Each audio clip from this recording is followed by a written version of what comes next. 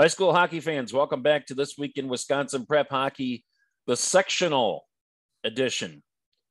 We are down to our final teams in the sectionals. And come Friday or Saturday, we're going to start punching some tickets for teams to go to state. So, with me tonight is my usual partners in crime, Bill, Bill Jr., and Dell. And guys, let's start with the uh, boys Division One, Section One. Hudson playing Spash and Chippewa Falls playing Superior. And uh, I guess it's fair to say that there's some surprises. Yeah, the the, the section of death uh, death arrived sooner for some teams than than we all thought. I would agree yeah, with that. You look at yeah. left, it's uh, one versus five and six versus seven. Two, three, and four all bid adieu. Bid adieu. Well, what do you th- what do you think, guys? Hudson is the number one seed, and they're still left in it. But I would imagine, um, I would imagine at this point, you kind of say, "Well, our main competition is gone." Is it? I don't think they can overlook anybody at this point in that section. I think I think you were listening to the broadcast um, with with Bob and Mike uh, of the Eau Claire Memorial Superior game. I assume MJ. Yes. Um, you got the. Did you get the impression that they overlooked Superior? I think they did.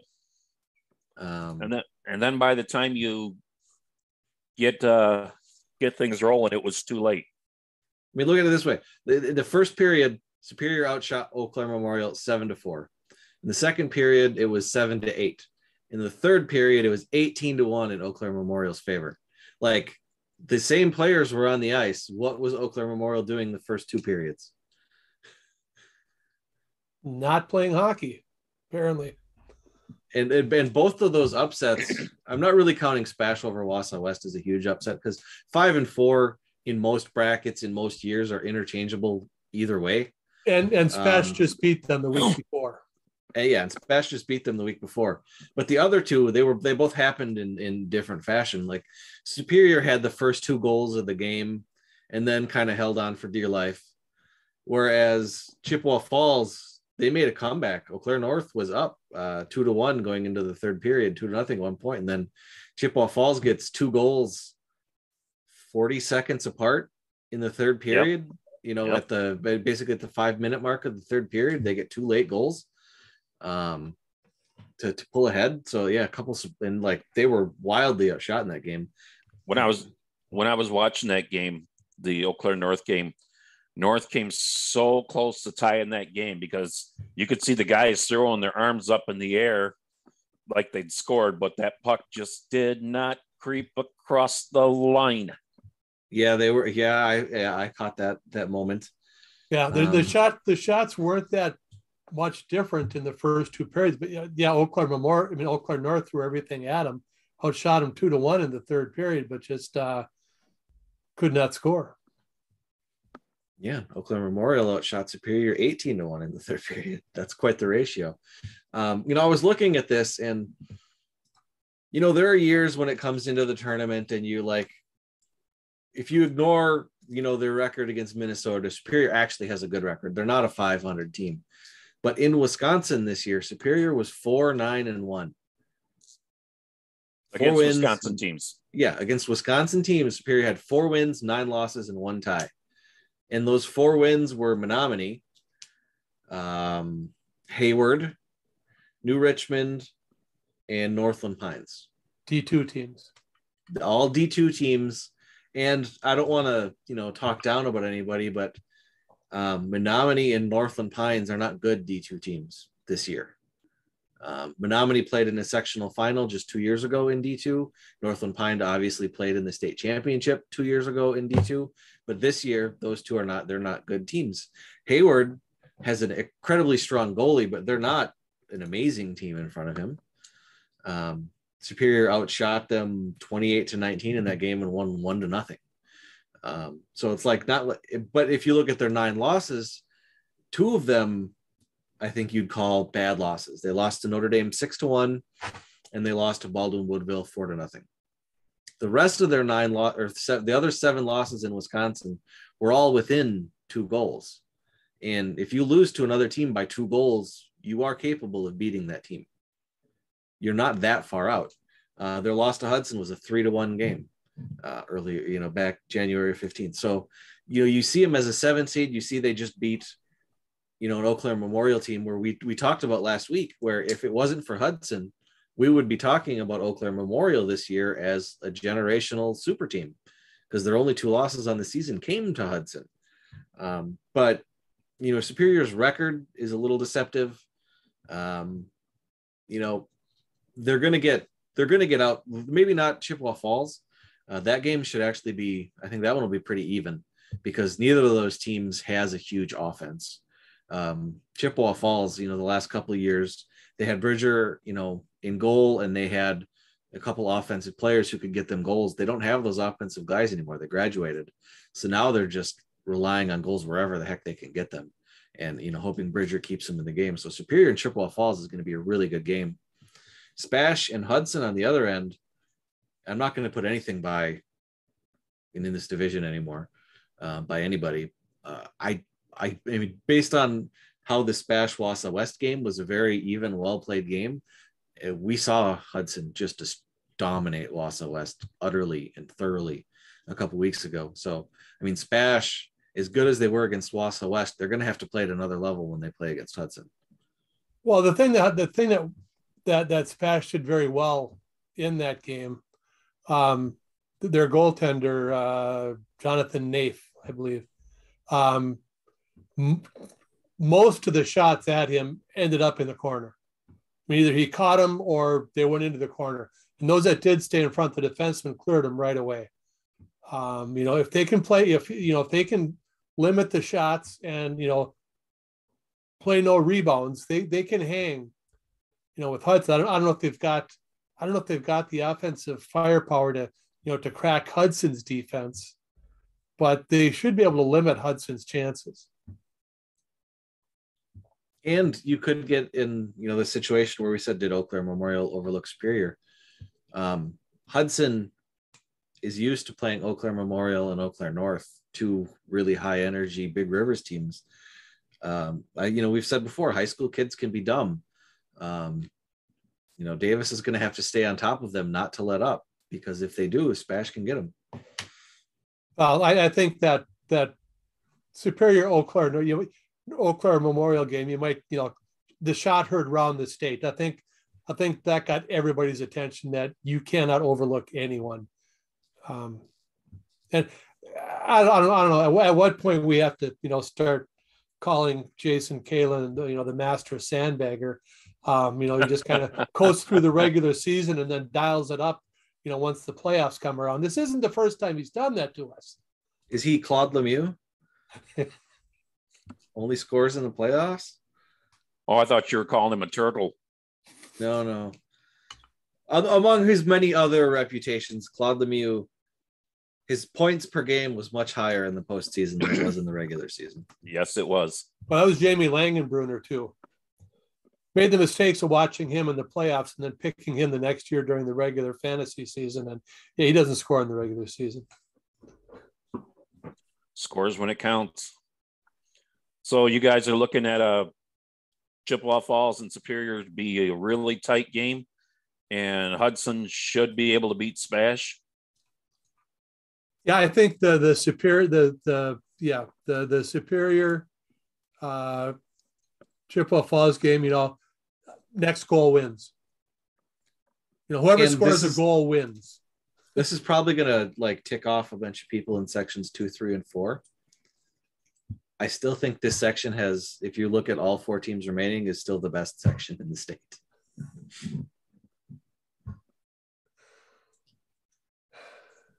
Um, It's either this one or section three.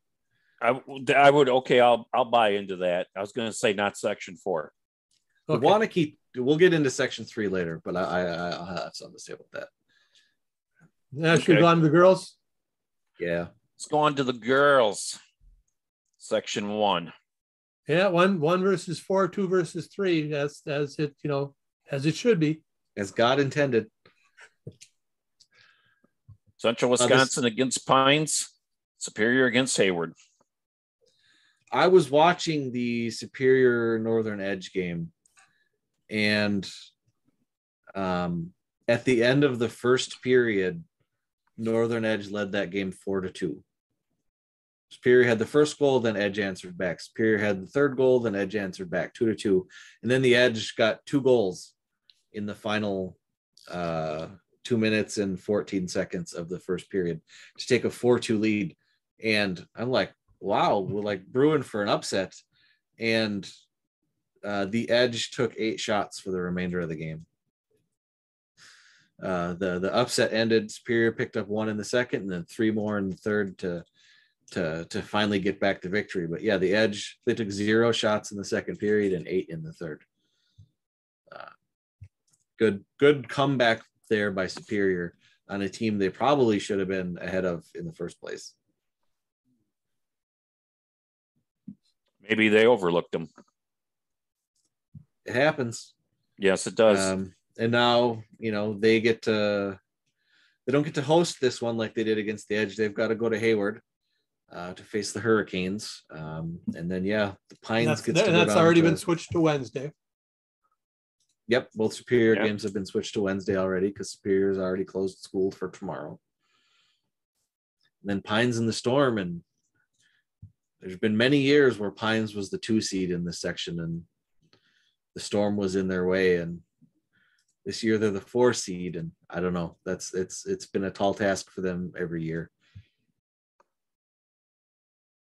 Yeah, I think that the Storm is just too deep they'll they'll wear them down. Yeah, I, well, I think this. I think this is one that's going to hold true to the seeding. You know, going into the sectional final. I think you're going to end up with Central Wisconsin against Hayward in that sectional final, and then that'll be right up there in the Bergs neighborhood. Yeah, I'll be at that final. Not my original plan, but many mites threw my original plan into disarray. Um, Superior and Hayward played earlier this season. It was a 3 2 Hayward win in overtime. So that should be a really nice sectional final on Wednesday when that one does happen. How did Hay- did Hayward and uh, the Storm play this year? Yeah, uh, they, they know played... they they played very early in the season. It was a four nothing Storm win. We were at that and one, I, and I think they played later in the season. And it was an overtime Storm win. Um, okay. I think it was one to nothing or two to one. So they close. So Hayward did close the gap on the Storm as the season went on, but they still got to get past Superior. Well, yeah, Hay- or, Hay- Hayward Hayward doesn't have the depth that the the Storm does, but Hayward's got some good players, and they have two. They have two freshmen who, when we saw them play, uh, it was their their first high school game. Um, they've developed quite a bit over the course of the season. Um, I tell you their names, but they escape me. Um, but they have they have two two very good freshmen on their team. So yeah, they they've improved over the over the course of the season. Yeah, Riley Springer is a defenseman and uh, she's a junior, and Reese Sheehan is a freshman. And like they have like their their top end is as good as the Storms. They just don't have the depth. Still looking for the Storm to be uh, their sectional loose. I think that I'll enjoy watching the sectional final at Green Greenheck, regardless of who's in it. Okay. Let's go to Division Two, Section One, boys. Once again, one versus four, two versus three. No surprises. Yeah, we don't usually right. talk about which coaches specifically nominate players of the week, but the last time Rice Lake and Hayward played, uh, Rice Lake coach Josh Engel was one of the people that nominated Hayward goalie Logan Abrick for player of the week. That was a two to one game that Rice Lake won uh, in overtime, and Abrick had, I think it was 65 saves in a two to one game. He yeah, he didn't even like include text. He just sent me the scoreboard and it said player of the week, something like that uh, a picture of the scoreboard because they they counted they count shots on the scoreboard there, um, and yeah, it was, yeah, it was, it was a, it was a good one. Um, and like I said, like even in the Marshfield game in the first round, Hayward, um, they got outshot bad by the Marshfield Tigers, 57 to 20 in shots. Um, but they managed to win that game four to three. They're not they're not a super strong team. They have an excellent goaltender, um, and they're they're strong enough to to hang around with guys. Um, if they can pull that off against Rice Lake again, that's a tall that's a tall order. And the game is in Rice Lake. Yes. Amery and New Richmond. The I 94 matchup. Those two teams used to be in the same conference until New Richmond decided to join the Big Rivers. Right. I believe they played earlier this year. And New Richmond is uh, hosting this game. They played earlier this year. New Richmond won the game three to nothing. Um, outshot Amery 32 to 12.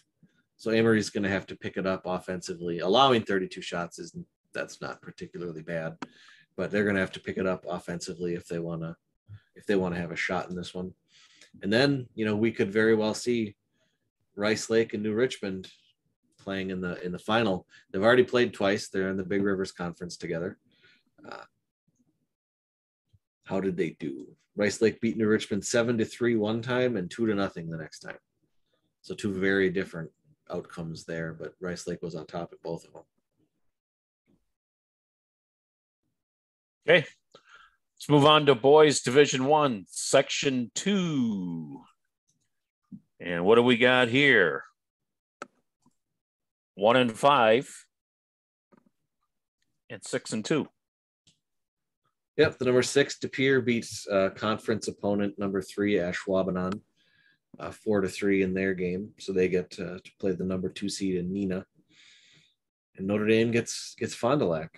Um, Fond du Lac, uh, five seed beat Bayport uh, in a game where beat Bayport wildly outshot them.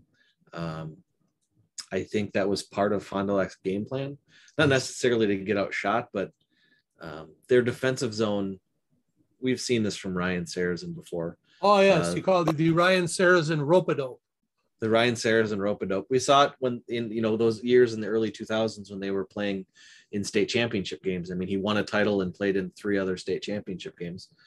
Um, he likes to play the box plus one in the defensive zone, where four of your guys are playing a box like it's a penalty kill and they're collapsing in on the net, and you have one guy attacking the puck. And when you play that kind of defense, you're going to give up shots but they're all going to be from outside low percentage shots. And as long as your defense does a good job cleaning up in front of the net, you're going to get wins. And that's what they did against Bayport. Bayport outshot them, but they weren't really high quality shots. And Fond du Lac was cleaning up all the slop in front of the net. Uh, they got a couple chances. I believe uh, Brett Sable, uh, who we talked about back in the Badgerland Conference tournament, had two goals in that one. Uh, and Fond du Lac got the win. Uh, they're probably going to try the same thing against Notre Dame because Notre Dame is is a faster, deeper team than than Fond du Lac is. Um, first line to first line, Notre Dame's not any stronger than Bayport was. Bayport's first line is is fantastic, but they're deeper than Bayport was, so it'll be a, a taller order for Fond du Lac. Here taking on Neenah in the bottom half of the bracket there. You kind of like Neenah Hortonville Menasha's chances in that one. Well, you want well, to, if you're them, you want to stay out of the penalty box because that you know uh, De um, you know, beat Ashwaubenon, and let's see, all except one of the goals scored in that game was a power play goal. De Pere jumped out. They got they got two goals um, during a, a, major power play in the first period, um, and that you know proved to be the difference in the game. But all the all, all their goals were power play goals. So that what you said about Neenah too? You don't want to be in the penalty box against Neenah because they capitalize on it. Oh, they're they're almost fifty percent on their power play. Mm. Yeah, their power play is insanely good. Mm. That one should be pretty good. Let's go over the girls' side, section two. What do we got here? One and four, and two and three. Hey, hey. St. Croix Valley playing the Western Wisconsin Stars Onalaska traveling to Hudson.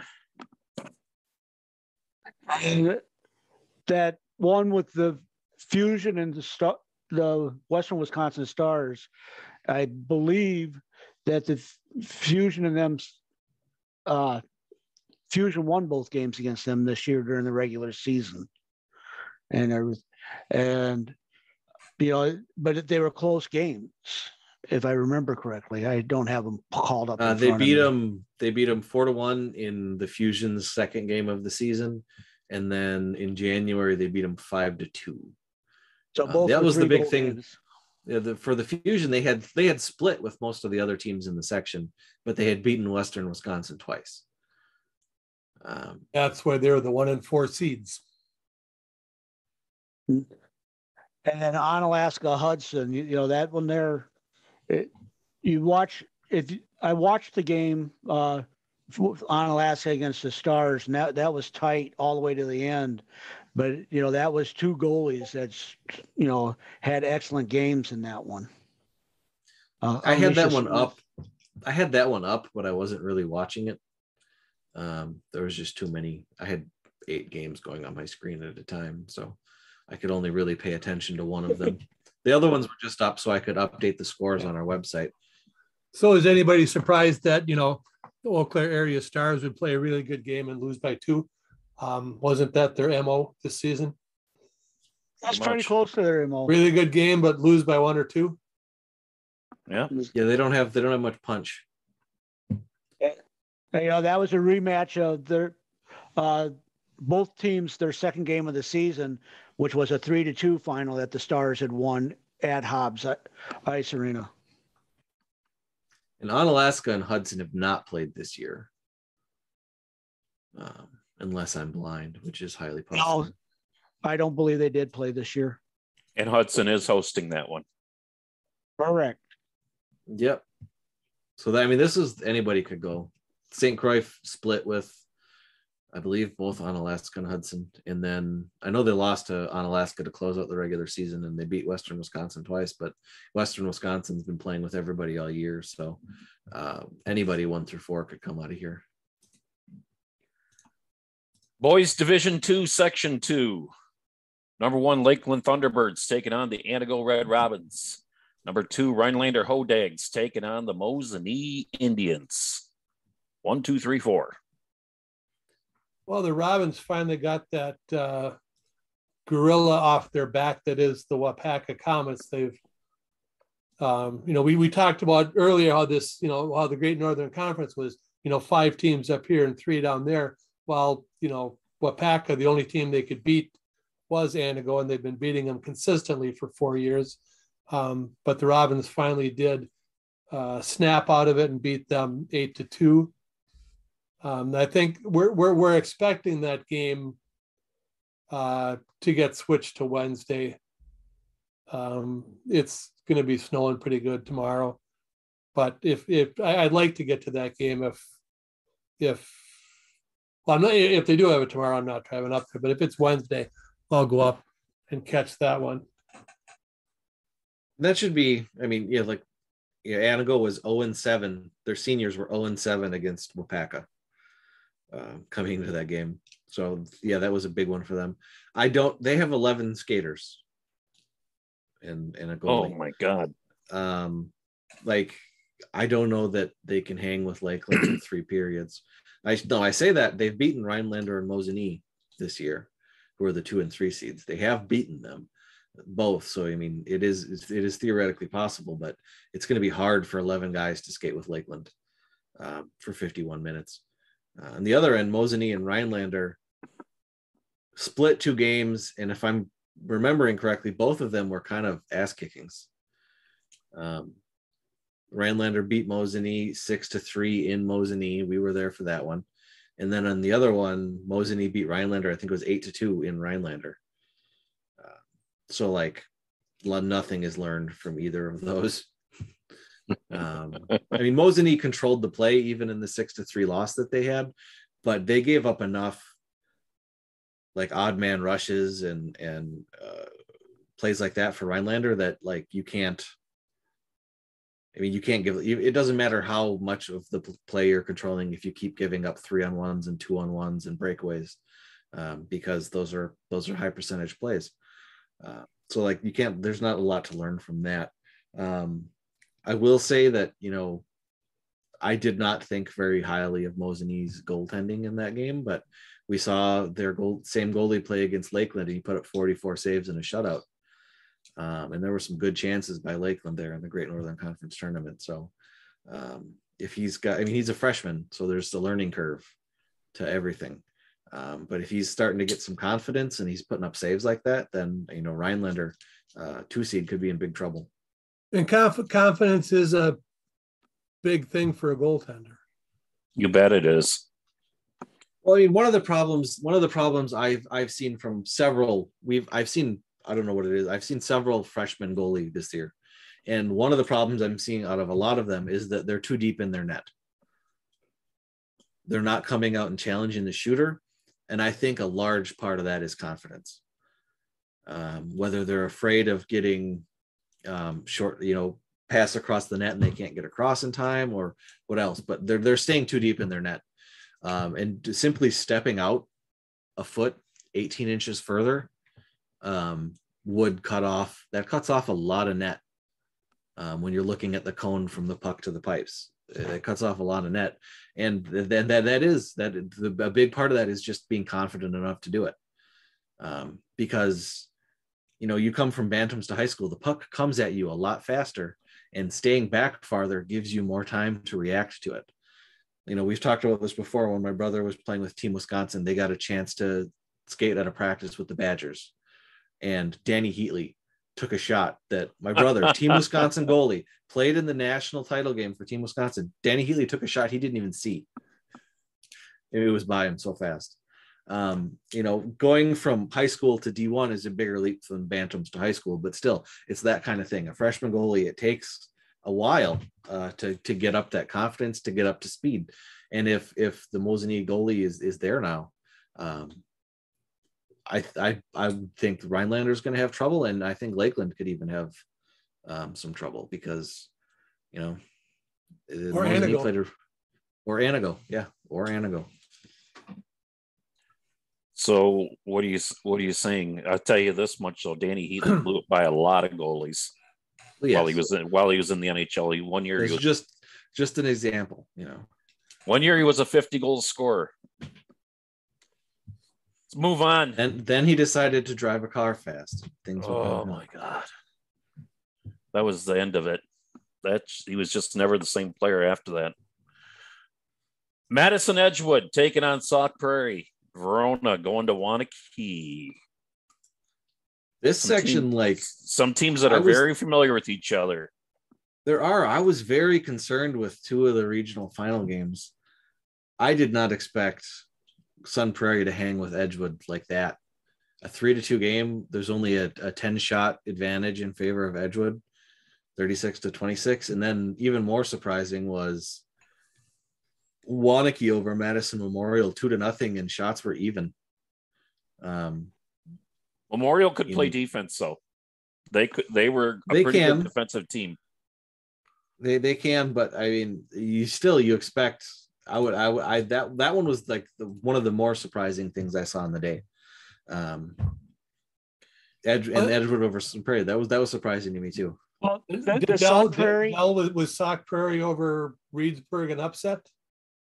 Oh, um, Reedsburg won both those games by one goal this year, and this here one, uh, RWD was up two to one at the end of the first period, but they gave up three goals in the first three minutes of that second period.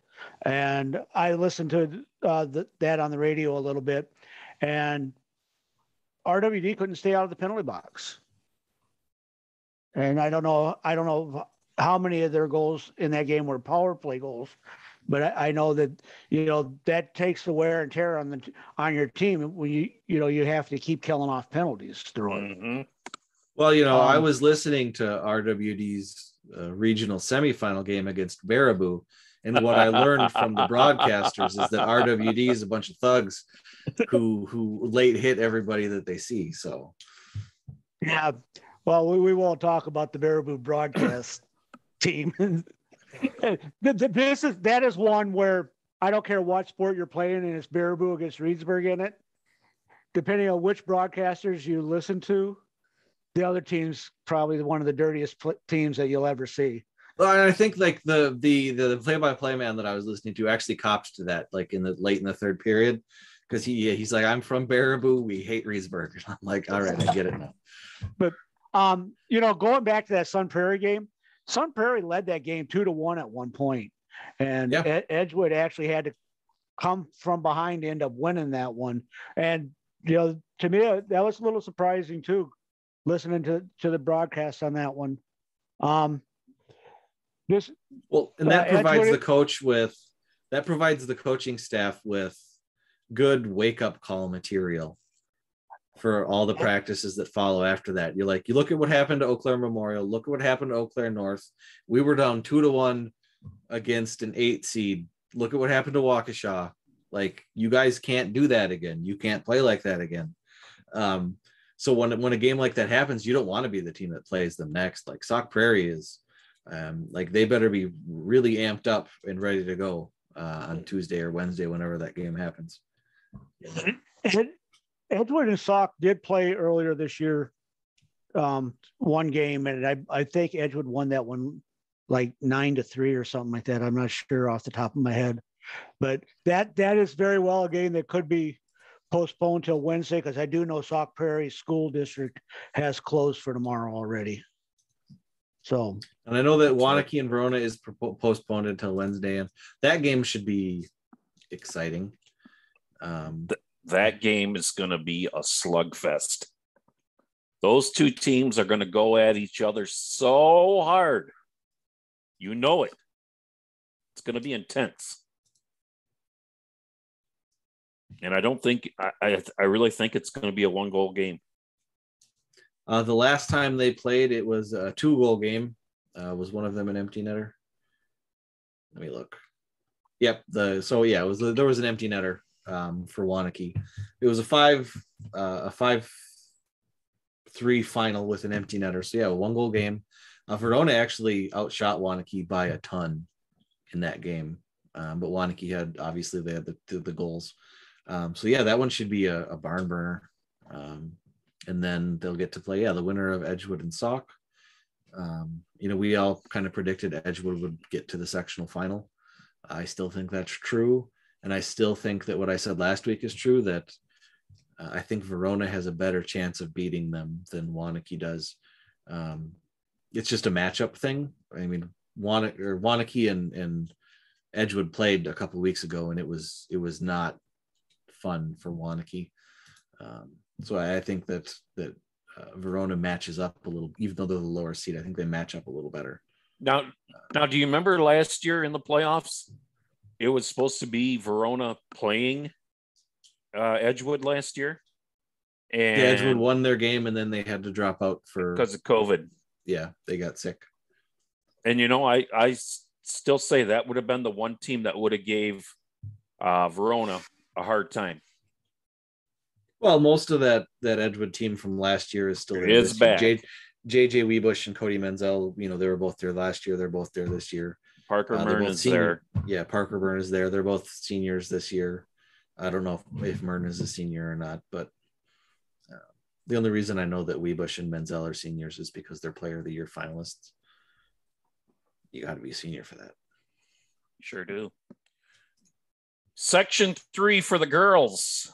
Metro Lynx taking on the Icebergs and the Cap City Cougars and Viroqua. Delmar Scanlon. What you think? Well, the Lynx, you know, and the Icebergs have played twice this year, and you know this this is the Badger Conference sectionals. What this boils down to, and I mean all seven teams in this were are in the Badger Conference. Um, so you got the Metro Lynx against the Icebergs. Uh, this will be their third meeting this season. Uh, last time they met at Madison Ice Arena was December 4th and the Lynx won that game seven to two. And then they played at Stoughton, and that one was January 8th and a four to one win for the Metro Lynx. And MJ, you know how that those two rinks, you know, I would say probably have some of the softer ice yes. of the rinks, rinks yes. in, in, within the state, which eh, yes, eh, you know how it'll slow you down a little bit. But you know, both teams are used to playing on that type of the surface, you know, for their home games. But I think that you know the Lynx will end up winning that game, and then Sun Prairie, Viroqua. Viroqua ha- had Beaver Dam. Beaver Dam, to put it nicely, struggled this season. Um, they uh, so Viroqua won in that game in the last round wasn't surprising.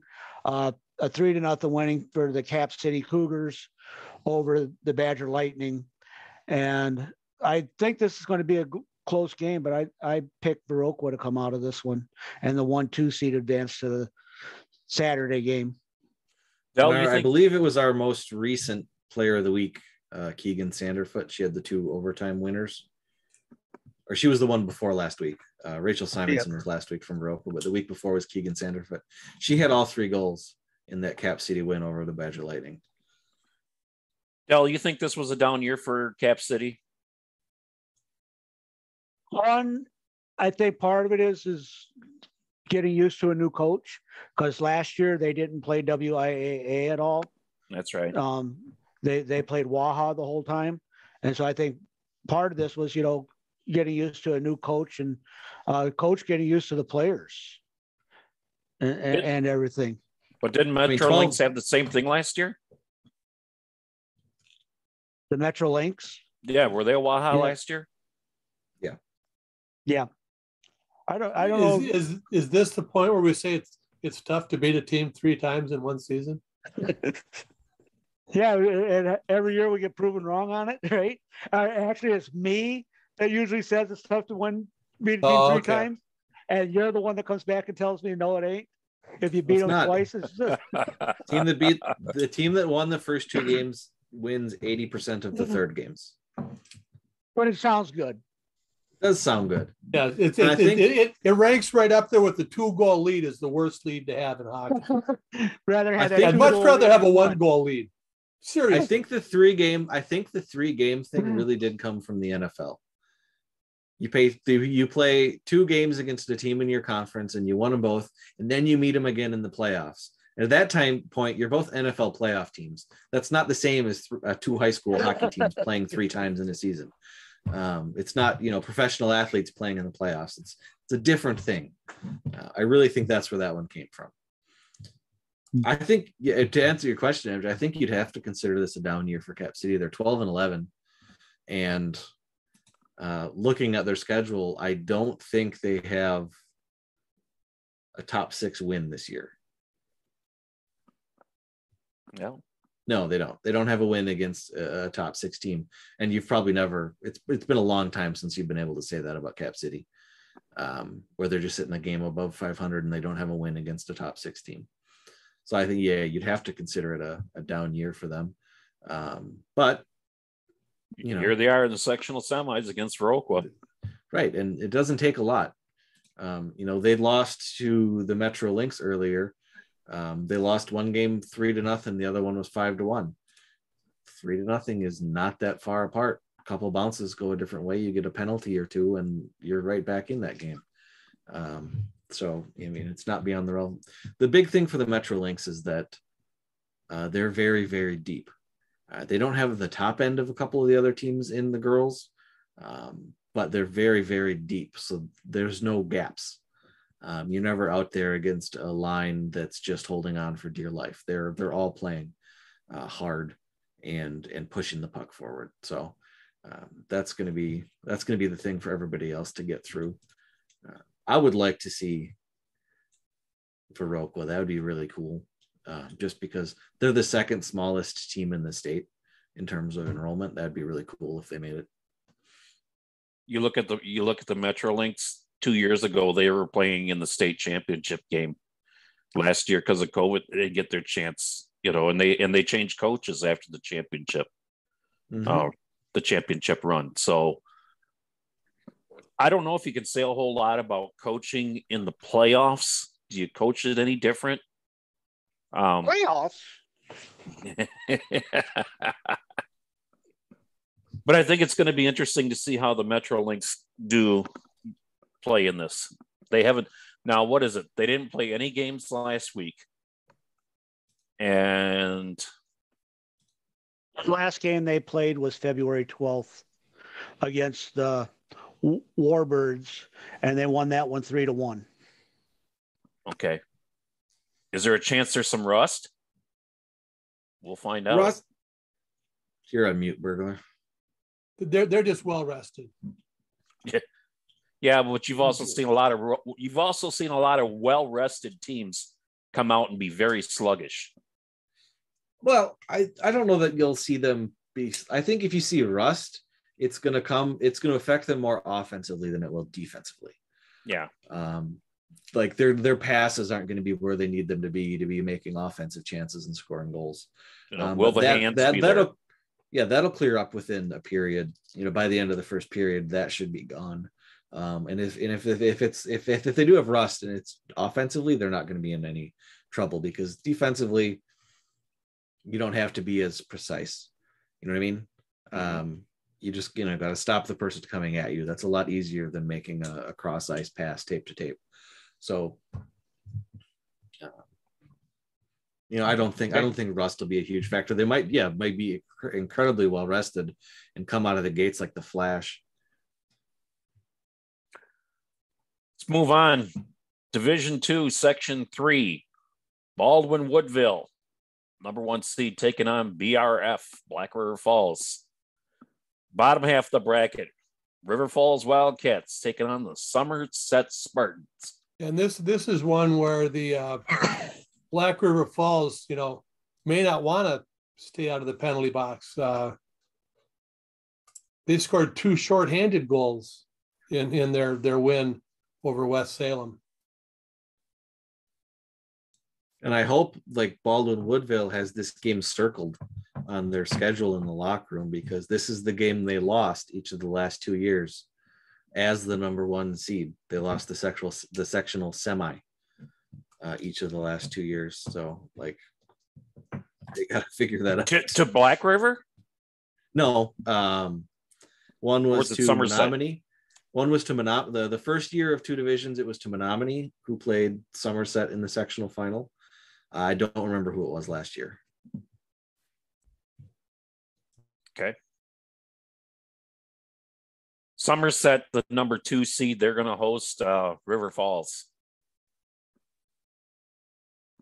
As I, you know, we've said for other teams, River Falls plays in the big rivers. The big rivers. Um, so they're battle tested. The top four, the top four schedules in Division Two are the four teams that play in the Big Rivers Conference.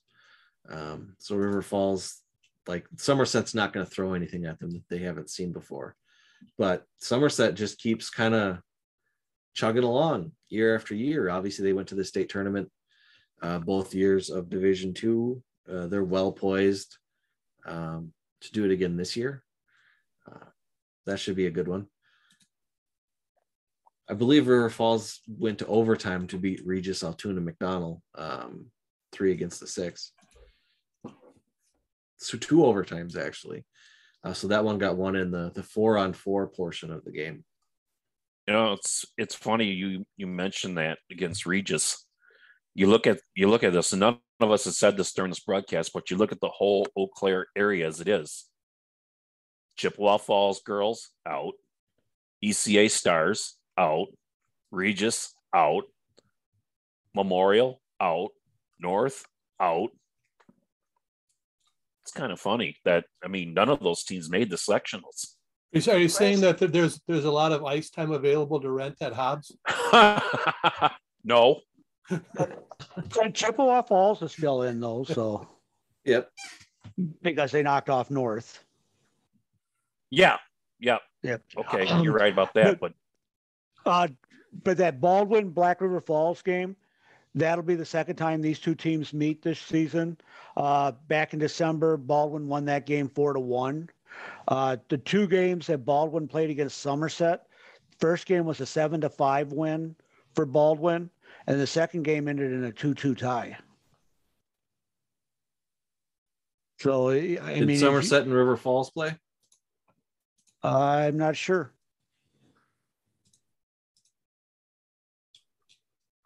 We should look this stuff up before we start recording. Well, what fun is that? You can only have so many browser tabs open. Uh, Somerset beat River Falls six to two uh, on February fourth. So they did play not too long ago. And Somerset outshot River Falls fifty to sixteen in Ouch. that in that six to two win. So River Falls is going to have to pull something out of their hats to turn that around because that's a, a wildly disparate game. Boys, Division One, Section Four. oh, where do we begin? Number two, University School, bottom half of the bracket, playing number three, Arrowhead. Top what do we call that? The potential battle between two teams that can't score. I thought you were going to say that's the uh, Gleaming Escalade game. No, we don't say that out loud.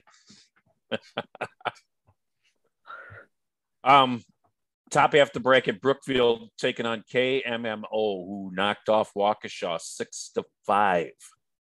KMMO believe- four for four on the power play in that game.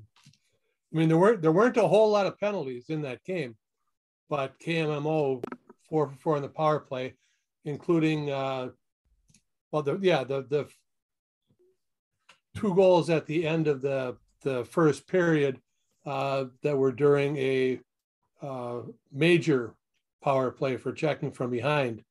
So, yeah, four for four in the power play. That's uh, oh, yeah. You apparently you don't want to take penalties against them.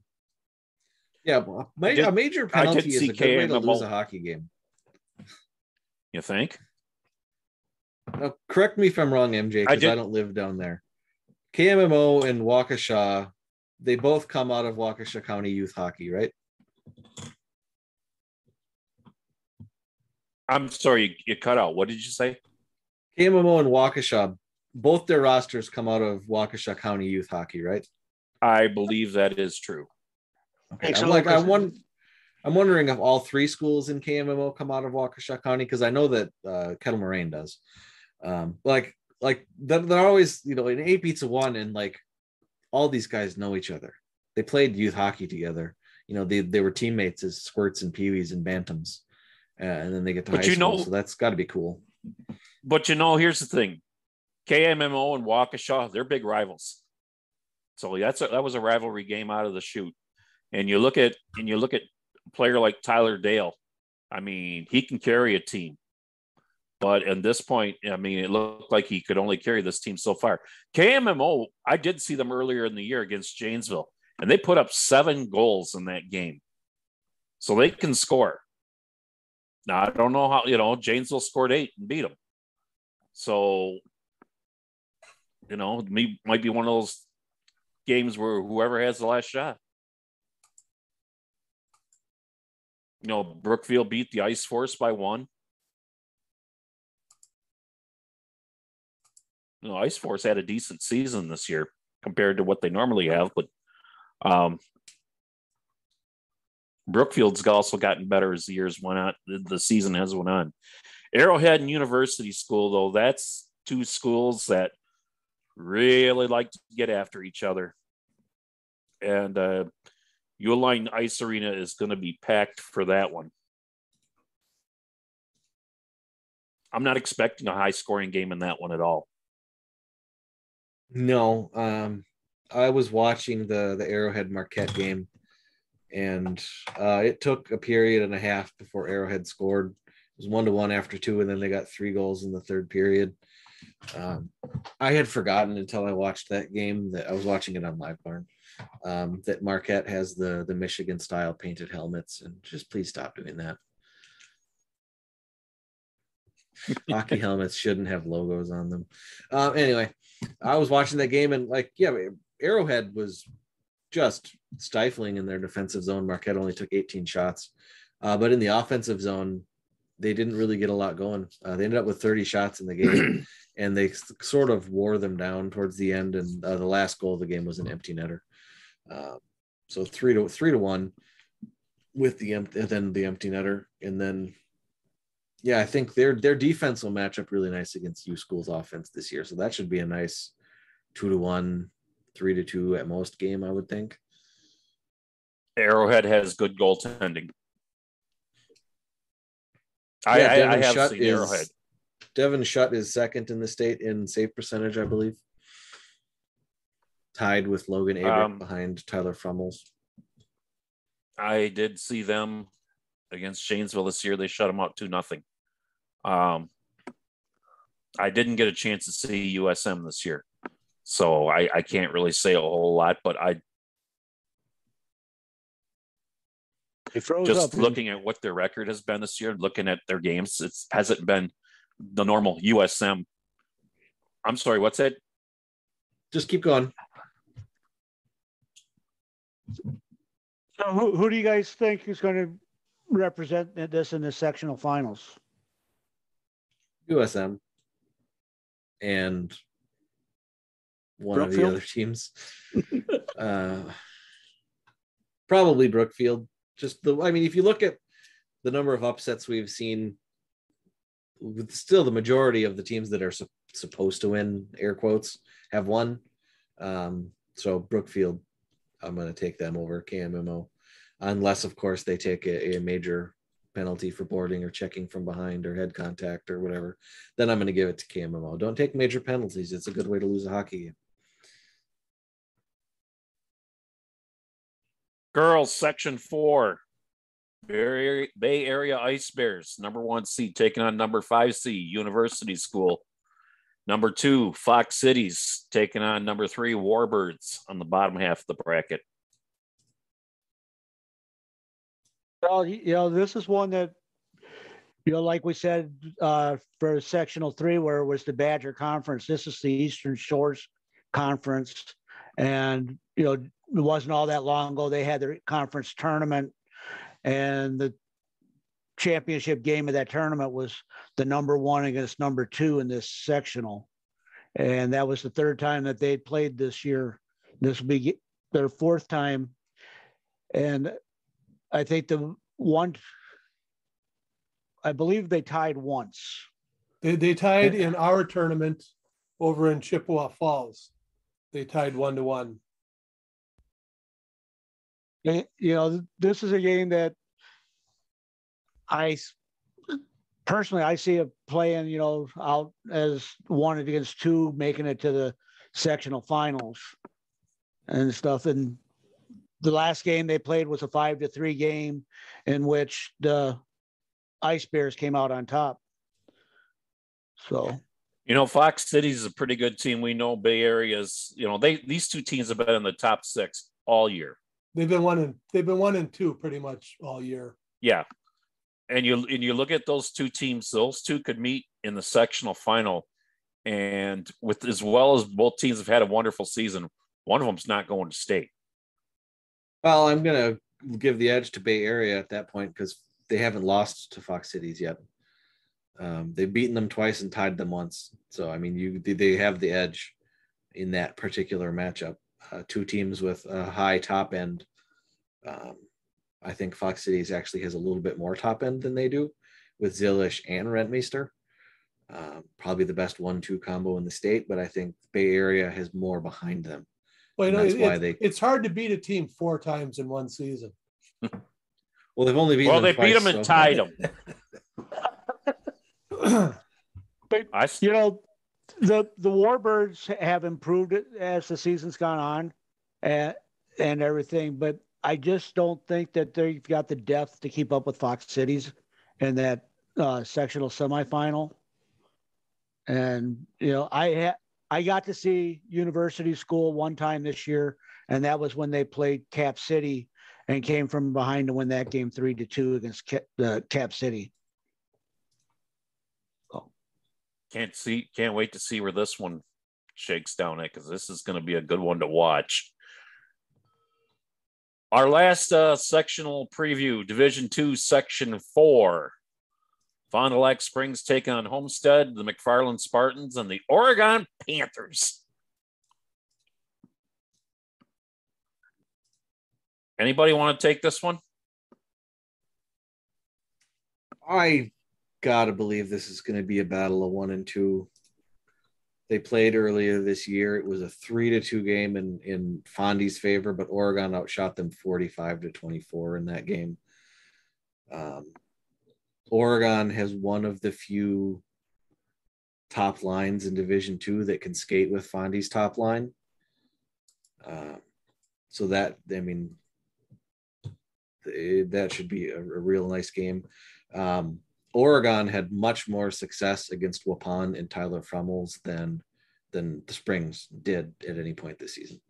Um, I I was that was another game that I had on and I was actually watching um, in my giant grid of games and the, I have I have never seen a team execute so many like flawless odd man rushes and uh, one timers in front of the net and you know um, cross the slot passes to you know a guy on the other side wide open as I saw Oregon pulling off in that game. Um, like that was a game where I'm like, good God, I wouldn't want to be the goalie um, because like their their puck movement between um, that that that in that top line was just phenomenal.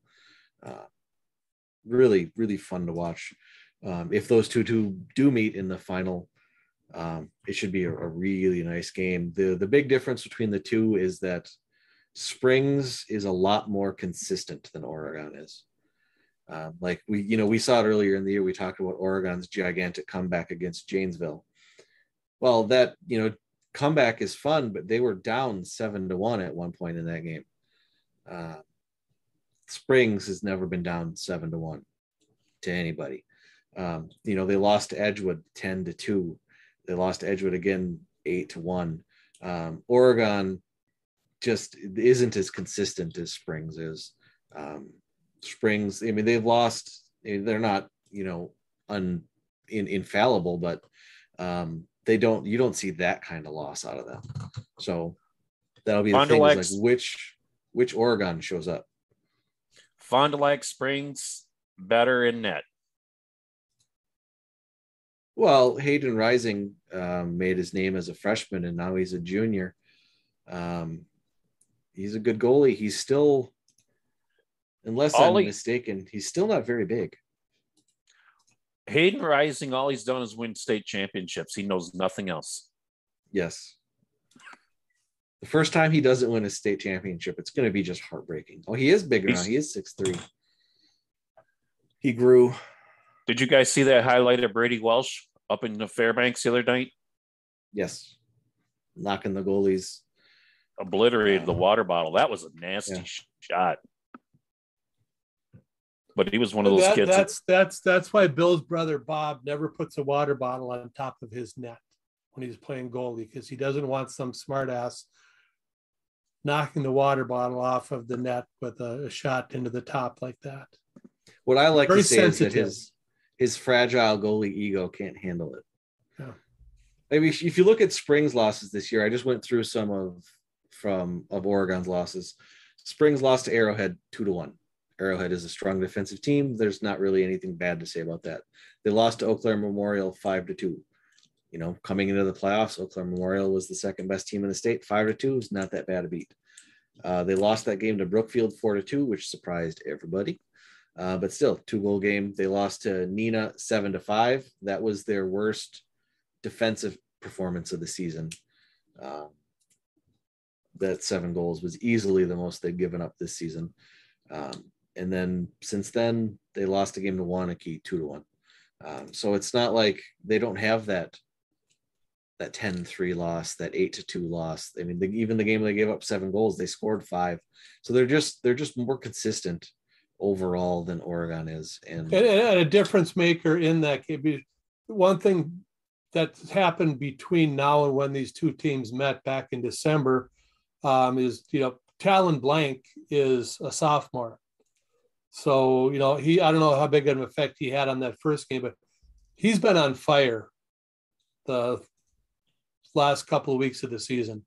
He has really developed into a, you know, a a full on threat on the ice at any time.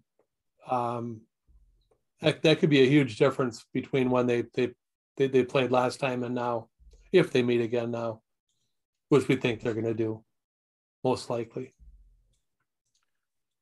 We bet That's Bill's they- firstborn child on it. Okay, but Well, I'm I- keeping the second one. Well, yeah, as we're talking about these games, you know, going on down to tomorrow, um, I have a feeling our game schedule for tomorrow night's going to get really light. I just happened to see that all the Madison area schools are closed tomorrow, including Edgewood. McFarland is closed. So I, I'm looking for probably seeing a few postponements going on tomorrow and being moved to Wednesday besides the ones we already talked about. You're not getting that much snow down there, though, right? It's ice. Oh, it's ice. Nice. Because up up here it's snow. Eh, like our Yeah. our band here in Wausau is four to eight, but you don't have to go that far north before it gets to like the eight to twelve. Now ours is supposed to be ice coming down first and then, you know, up around us, a little further north than Madison, two to four inches of snow on top of the ice. Then there's us Hicks here in the south, just over the state line. We're just supposed to get a little rain, maybe some ice, you know. Weatherman said the other day that southern Wisconsin is in a drought. down in tropical Janesburg. Janesville School District is closed sorry. tomorrow. It is closed. Yes. So do we want to talk about what our our personal sectional final schedules are? Okay, I, I can go first on that. On Friday, On Friday, Dell stole my games. yes, I stole burglars games and I'll be at Chippewa Falls for a 4:30 p.m. game and the 7:30 p.m. game. And then uh, on Saturday, right now, my goal is to be up in Fond du Lac for a 4 p.m. game or 1 p.m. game up in Fond du Lac, the boys division two sectional four final, and then make trip down to Sun Prairie for the girls sectional three final. So you're expecting to see uh, Fond du Lac Springs in Oregon. More than What I it looks can- like on paper. Yes, bring your camera. Uh, burglar. Uh, yeah, I'm. Uh, damn it, hang on. I'm going over to Am- Amery on Friday night, right? Yes. Amery on Friday night, and then uh, I'm going to find myself a cozy little bed and breakfast or something. Um, and then on Saturday, I'll be going to Somerset for that one. So that'll be Division Two, Section One, and Division Two, Section Three. Yes. Uh, those were originally going to be the games that I covered, but then um, Everest Youth Hockey announced that Saturday morning will be the Mini Mite Jamboree, and that'll be my daughter's first actual game hockey. So I'm not missing that. So Friday I will be at Green Heck for girls section one. Um, and because of when the jamboree is and how long it lasts, I can't get to any of the Saturday sectionals. So I'm only doing one this year. And that leaves me as still out of commission, unfortunately. That's all right. We got seven. If Dell if Dell manages to get to both of his, we got seven of the twelve covered by one of us, which is not bad considering that there's, you know, just a couple of us doing this. I might, I'll make it to the Sun Prairie one. I might be a couple minutes late getting there, depending on what time the boys' final ends up in Fond du Lac. Well, thankfully for you, if it goes into overtime, first overtime is five on five, and the second is four on four, and all subsequent overtimes are three on three. So It bugs me that the. WIAA wrote new overtime rules this year, and the regular season and playoff overtime rules are different. I understand why they did what they did, but it still bugs me. What do you mean? You, you mean in the Well, in well in the- the the- postseason? Do you still think it should be five on five all the way through? No, that's fine. I'm fine with going five on five, then four on four, then three on three. That's fine. Uh, it's just that they're different. In the regular season, it's five on five, and then immediately to three on three. Well, and I- you know when we and I understand why they I understand absolutely why they did that.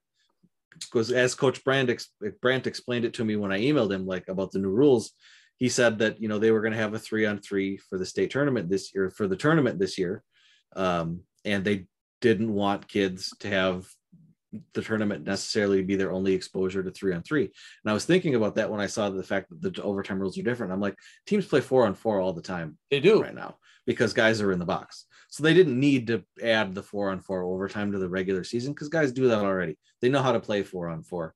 Um, so they were just getting the three on three in there so guys would have exposure to it. If that's the case, I don't know why they left the five on five in there. Um, just make it three on three if that's the goal. But boy, I like three on three. That's some. If you got two teams that can fly up and down the ice, you got a great game going there. Three on three. Oh yeah, ask me about it from you know last Sunday. Oh God. Three Oh, on men's three. league. Oh Yeah, when we were playing Super Bowl Sunday, hockey, half the guys don't show up. more It's than the half. Super Bowl. Of course, they're not going to show up. Several people who said they were going to play hockey instead of watching the Super Bowl did not show up. So Liars. we played. So like this yesterday, Sunday, we played uh, five on five, and we had six guys on our bench. How many were on yours? We had six. We had six guys in each bench. So 12, 22 skaters. The Sunday before during the Super Bowl, we had nine skaters total. We played three on three with one guy on one bench and two on the other. And halfway through, the guy that was one guy switched. So the other bench had two and one bench had one. Like it's the only time in the three years I've been playing old man hockey that we stopped and took a break in the middle of the session. We stopped and just did nothing for like seven minutes. It was brutal. And We I breathed- we- realized We breathed hard. and I realized something that you know they made me think of the playoff format. I've never played three on three hockey before, like that. Like I've done drills and stuff, but I've never actually played three on three hockey. So I got out there. I'm like, I don't know what to do. It, it took it took me a real it took me all to realize. Oh, when the puck's in our zone, you're basically playing man on man. You know, Right. you, you pick a guy and you you stay with them, and then you know then you get down to the other zone and you know forget about this forward defense stuff. You just kind of rotate around and Until you find Yeah. a shot and give It's- up an odd man rush. that the old other way man, when you it's- miss it- the net. three on three is not for fat old men. It is not. No.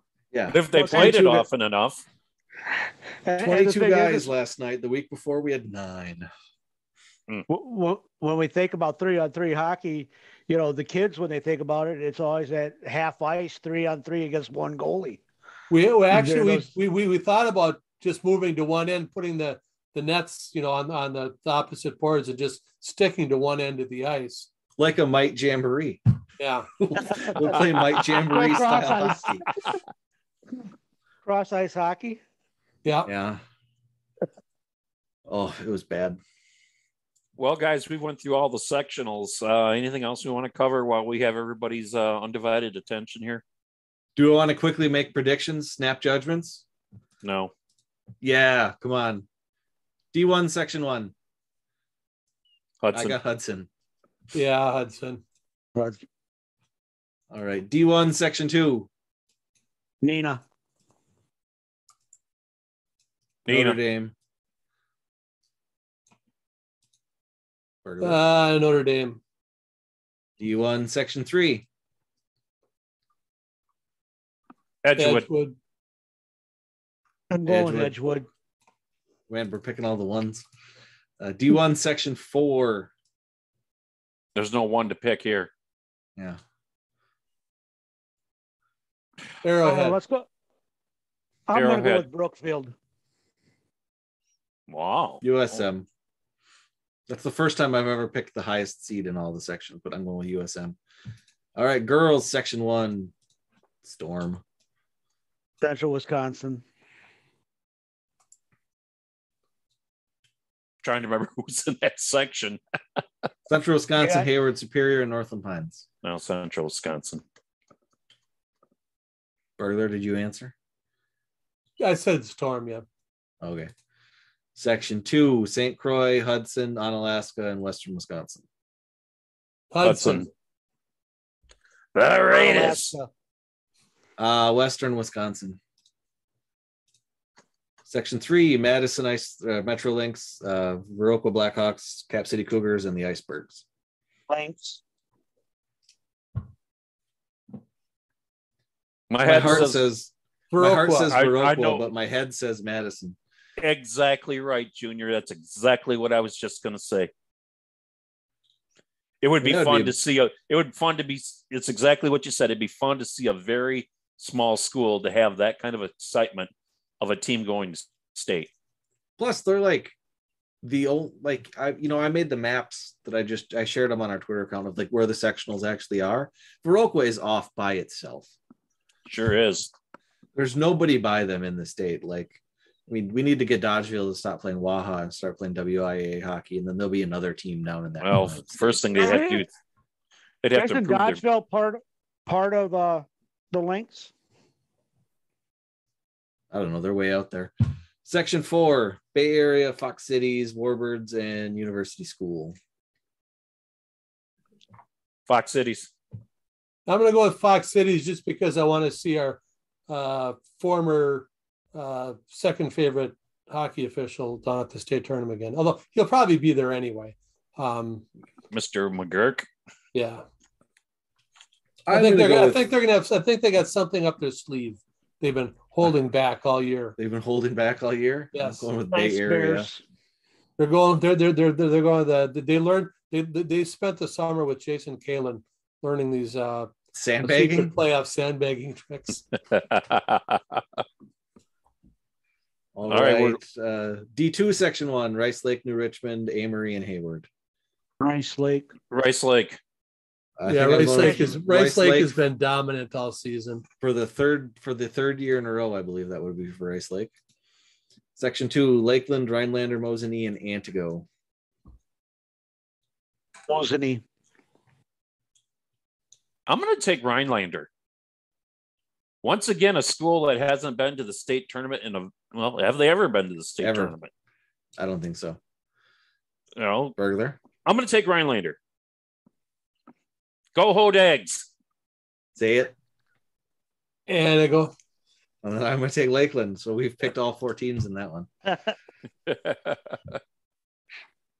Section three, Baldwin, Woodville, Somerset, River Falls, and Black River Falls.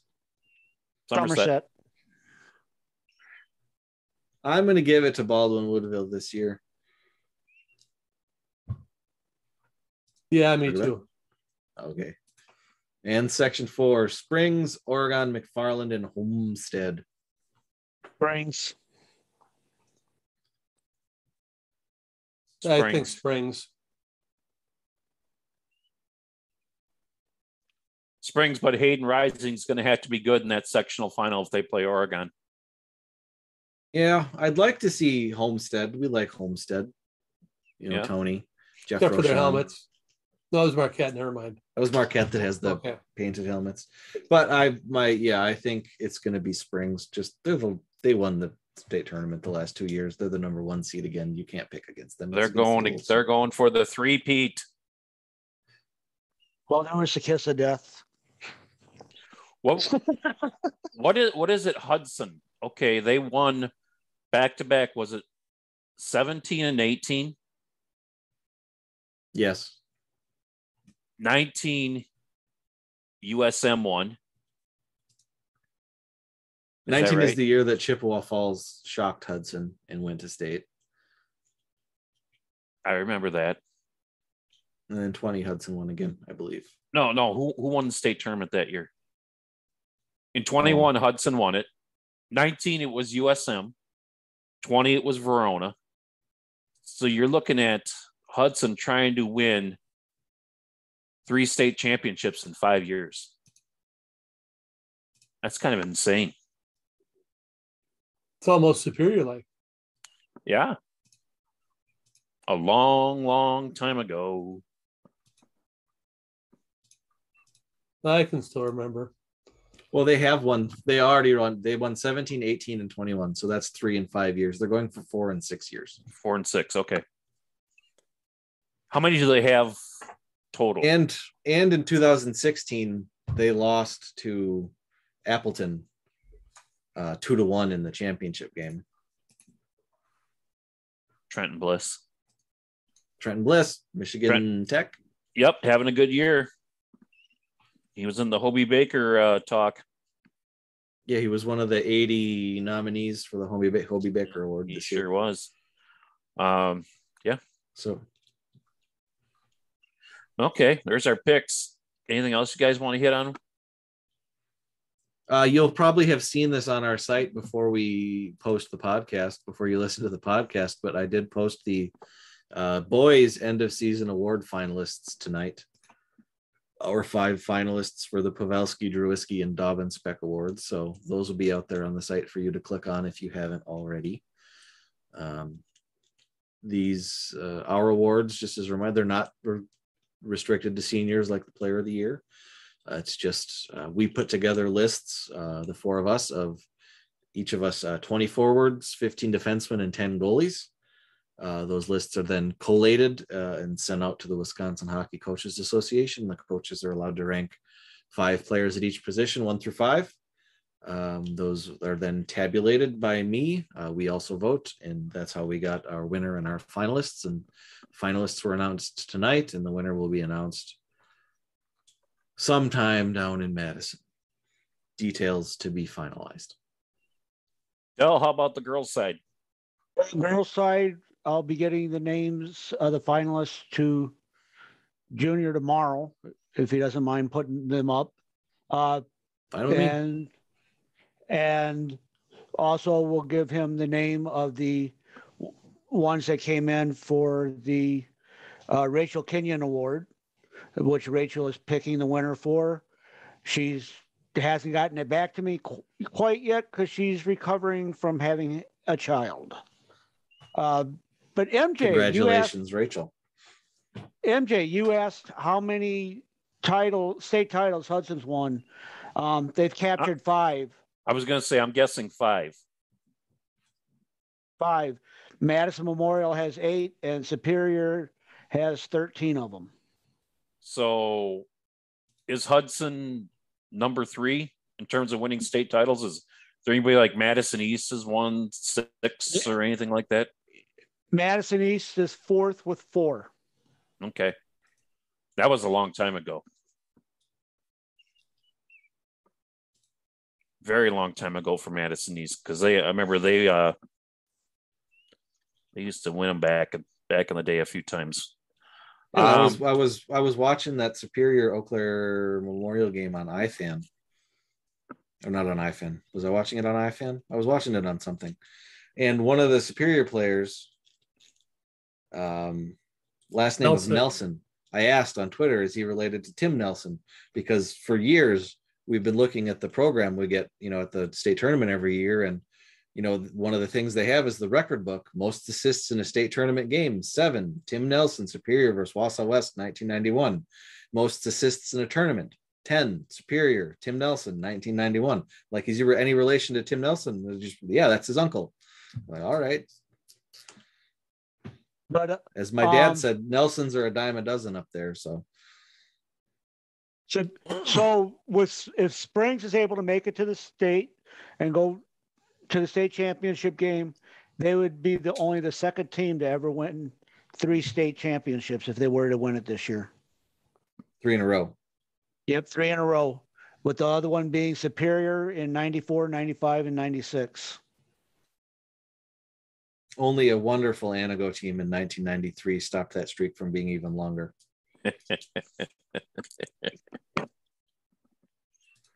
okay. Well, because it was Superior one in 92. They lost the championship game two to one in Antigo in 93 and then 94. So, I mean, they were an overtime win away from winning 90 through two through 97. That's six in a row. That's crazy. Five in a row. Sorry, five in a row. Um, people, if before you uh as you go on the site and um, read about the people who are up for the uh, WIPH awards, feel free to stop by that donation box there and uh, help us out a little bit. Um, times are tough for everybody, especially We're WIPH. getting close. We're getting are close, we? but we still got a ways to go.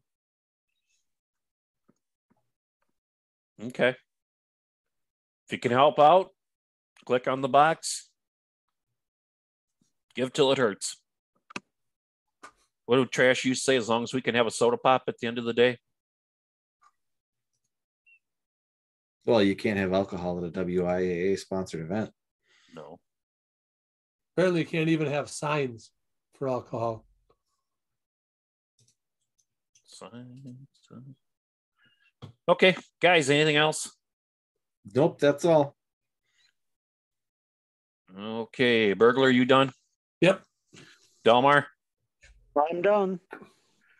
People uh keep an eye on the uh on the site. We'll keep you updated on uh, when games are going to be changed because as you've heard the guys say tonight, there's going to be probably some postponements with the incoming weather. So we find out, we'll put it up there immediately. It's what we do. So for Dell, father and son Berg, I'm Mike Hammett. Enjoy the rest of the games this week. You've been listening to This Week in Wisconsin Prep Hockey.